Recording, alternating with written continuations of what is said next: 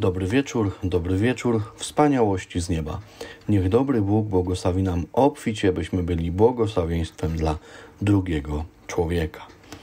Pierwszy list apostoła Pawła do Tymoteusza, trzeci rozdział, prawdziwa to mowa. Kto o biskupstwo się ubiega, pięknej pracy pragnie. Biskup zaś ma być nienaganny, mąż jednej żony. Przedwczoraj i wczoraj rozważaliśmy, na czym polega w ogóle ta służba, że jest to służba, a nie zaszczyt. Chociaż, jak ktoś ładnie w komentarzu napisał, jest to zaszczytna służba. Rozważaliśmy, że dobrze się jest ubiegać o tą służbę, to znaczy dobrze się jest ubiegać o bycie wzorem, jeżeli chodzi o uczniostwo w Jezusie Chrystusie. Wczoraj rozważaliśmy, co to oznacza bycie nienagannym.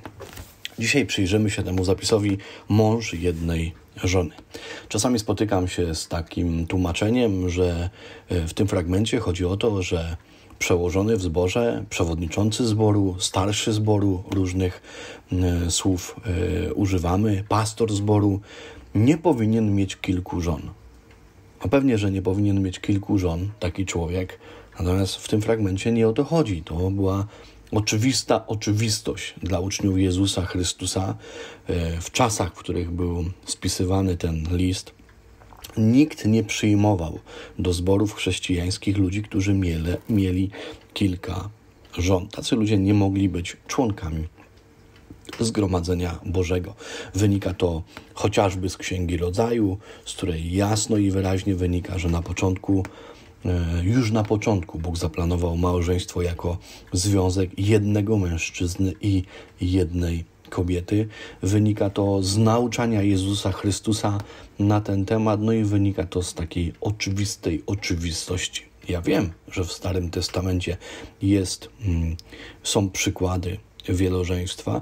Natomiast nauka chrześcijańska pod tym kątem jest nieubłagana. Mamy mieć jedną żonę i tylko jedną żonę. Nie tylko starszy zboru ma mieć jedną żonę, tylko każdy chrześcijanin nie może mieć kilku żon. No ale dobra, są ludzie, którzy tak to rozumieją, ich sprawa. Ja się z takim poglądem absolutnie nie zgadzam. Niektórzy uważają, że w tym fragmencie jest mowa o tym, że biskup, czy starszy, czy przełożony musi mieć żonę i nie może być po rozwodzie. Ja osobiście skłaniam się ku temu zrozumieniu, ale nie jest to wszystko, o czym chcę powiedzieć przy tym fragmencie. Ja też uważam, że przełożony w zborze powinien mieć żonę, mało tego, powinien też mieć e, dzieci mm, i nie może być po rozwodzie. Najpierw się odniosę do tego, że powinien mieć żonę i powinien mieć dzieci. Jest ogromna różnica pomiędzy ktoś e, nie chce mieć dzieci, a pomiędzy tym, że ktoś nie może mieć dzieci. Ja tutaj nie dotykam sytuacji, w której ktoś jest nienaganny, w której ktoś jest dobrym mężem dla swojej żony, ale jest na przykład bezpłodny, albo jego żona jest bezpłodna i nie mają dzieci. Ja mówię o tym, że przełożonym w zborze nie może być ktoś, kto nie chce mieć żony i nie chce mieć dzieci, dlatego że to jest człowiek, który nie będzie rozumiał podstawowej komórki w kościele, czyli rodziny nigdy nie będzie rozumiał podstawowego, podstawowego kościoła, czyli rodziny. Mm, ktoś, kto nie jest mężem, nie będzie potrafił kochać e, Kościół w ten sposób, w jaki mąż uczy się kochać swoją żonę. Ktoś, kto nie chce mieć dzieci i z tego powodu nie ma dzieci, nigdy nie będzie ojcem dla tych ludzi. Nie zrozumie pewnych sytuacji, czasami będzie zbyt e, zero-jedynkowy, ponieważ to dzieci nas uczą, że nie wszystko jest takie proste. Więc zgadzam się z tym, że to jest człowiek, który powinien mieć żonę i powinien mieć dzieci. Mało tego, e, utożsamiam się z tym i ja osobiście mm, miałbym problem z ustanowieniem starszego zboru, e, który e, się rozwiódł, to nie znaczy, że to jest niemożliwe, bo oczywiście biorę pod uwagę, że rozwód mógł nastąpić przed, mm, przed e, nawróceniem, że różni ludzie mają różne historie i oczywiście są wyjątki potwierdzające tą regułę. Zawsze się trzeba w takich sytuacjach mocno przyjrzeć. Natomiast na pewno nie uczyniłbym przewodniczącym zboru, pastorem zboru kogoś, kto jest po rozwodzie z jednego prostego powodu. On miałby strasznie trudno bronić ludzi po rozwodzie. Miałby strasznie trudno podjąć decyzję dotyczącą ponownego małżeństwa w jakimś szczególnym przypadku. Miałby strasznie trudno stanąć za takimi ludźmi, z takimi życiorysami, ponieważ byłby bardzo często zarzucany argumentem, a nawet diabeł by go w ten sposób atakował, że robi tak, ponieważ sam jest po rozwodzie. Mi się zdarzyło ratować takich ludzi.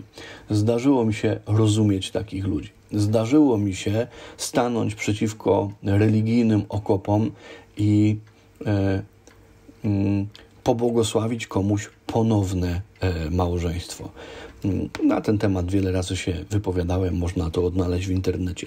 I nikt nie może mi zarzucić, że robię to, by siebie wytłumaczyć, że to jest jakaś nauka, bo sam mam z tym problem. Ja mam jedną żonę, od zawsze mam tą jedną żonę, zawsze będę miał tą jedną żonę i jestem głęboko przekonany, że nawet gdyby moja żona wcześniej odeszła do, panu, do Pana, ja zostanę w stanie wtedy wolnym, mm, właśnie z powodu tego, zapisu i z powodu tego, że chcę mieć możliwość przytulania ludzi, którym życie się strasznie pokomplikowało i nie chciałbym, żeby ktokolwiek miał jakikolwiek punkt zaczepienia, że jest to mm, nieudolna próba wytłumaczenia swojej sytuacji. I tak są najczęściej tłumaczone te fragmenty, ten fragment, Najczęściej jest poruszany ten pierwszy e, przypadek, z którym się nie zgadzam. Czasem ludzie mówią o tym drugim przypadku, który jest mi bliski, ale ja tu zawsze coś dokładam. W tym fragmencie tak naprawdę jest napisane o tym, że uczeń Jezusa Chrystusa, a zwłaszcza wzór, jeżeli chodzi o uczniostwo w Jezusie Chrystusie, to ktoś, kto powinien być wierny w swojej żonie. To ktoś, kto nie powinien mieć problemów z cudzołóstwem. Nie powinien mieć problemów z porządliwy, porządliwymi, porządliwymi myślami. To ktoś, kto e, absolutnie powinien być zafascynowany tylko swoją żoną, tylko jej ciałem, tylko jej duszą, tylko jej poczuciem humoru. To ktoś, kto nie powinien sobie pozwolić na nawet najmniejszy flirt z inną kobietą, nawet mm, najmniejszy flirt to ktoś, kto powinien być absolutnym wzorem tego, w jaki sposób kocha się swoją żonę, jak się ją traktuje jako księżniczkę. Dlaczego? Dlatego, że to jest nauka, która jest bardzo potrzebna ludziom.